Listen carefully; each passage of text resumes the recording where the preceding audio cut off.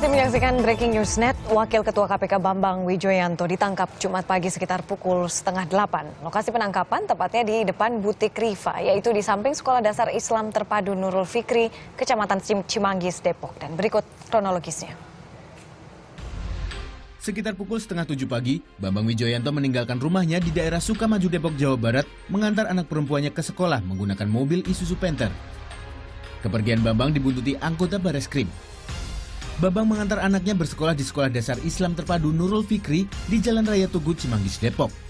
Sekitar pukul setengah delapan setelah mengantar anaknya, Wakil Ketua KPK Bambang Wijoyanto ditangkap di depan butik Riva, yaitu di samping Sekolah Dasar Nurul Fikri. Bambang Wijoyanto beserta mobilnya langsung dibawa ke Mabes Polri. Penangkapan dilakukan oleh 15 anggota Baris Krim Mabes Polri dipimpin seorang Brigadir Jenderal.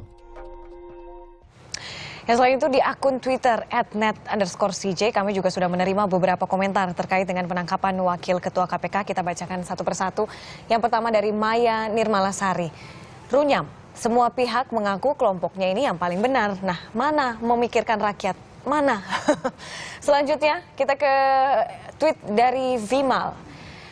KPK RI kita lihat saja keampuhan komitmen Joko Widodo, Presiden Joko Widodo tentang kasus BW ini. Silakan Bapak Presiden yang terhormat.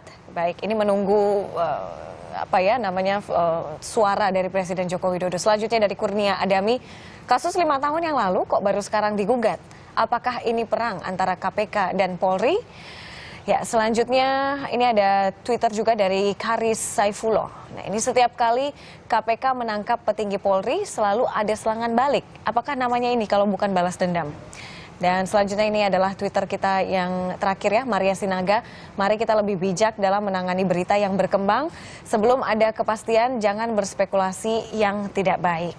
Itu dia tadi beberapa uh, tweet yang sudah masuk ke kami di @net underscore CJ memang di akun media sosial penangkapan BW ini cukup ramai. Selain ada hashtag Save KPK kalau di Twitter ada juga hashtag yang sedang menjadi tren seperti itu yaitu Where is our president? Karena banyak yang menanti bagaimana uh, apa namanya aksi atau pernyataan dari Presiden Joko Widodo terkait hal ini.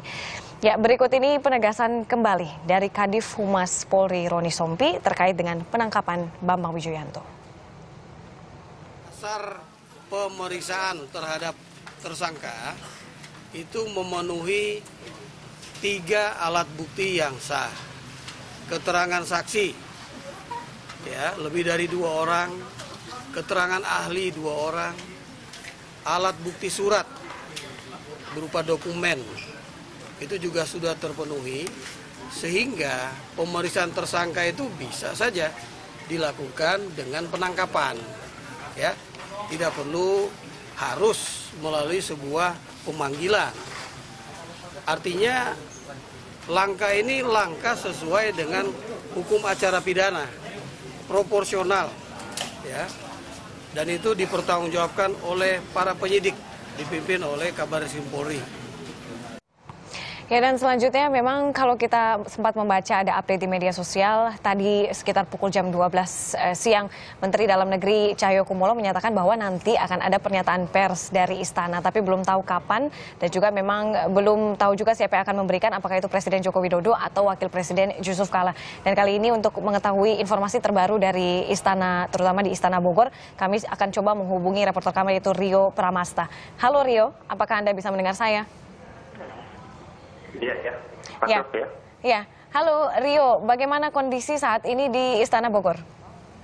Saat ini di Istana Bogor sudah berkumpul uh, para wartawan untuk menunggu konferensi pers dari pihak Istana, yaitu Pak Presiden Joko Widodo. Di sini juga telah hadir uh, dari kepolisian, Wakapolri, Komjen Badrudin Haiti. Dan baru beberapa saat tadi ada mobil Nissan Serena hmm. yang diduga itu adalah Eh, Ketua KPK Abraham Samad. Seperti hmm. itu tampak yang bisa saya laporkan. Baik, tapi apakah ada konfirmasi bahwa pernyataan pers akan dilakukan sore hari ini, betul? Dari pihak istana belum menyebutkan eh, eh, konversi akan dilakukan kapan. Eh, namun setelah adanya pertemuan akan digelar konversi, tapi tidak ditentukan harinya kapan atau pada jam berapa jam berapanya. Baik, Rio sekali lagi mungkin saya coba tanyakan, jadi pertemuan antara Presiden Joko Widodo, kemudian tadi juga kita tahu ada Wakapolri dan Kabar Eskrim, itu sudah Ya. dilakukan sejak tadi sebelum sholat Jumat atau setelah sholat Jumat?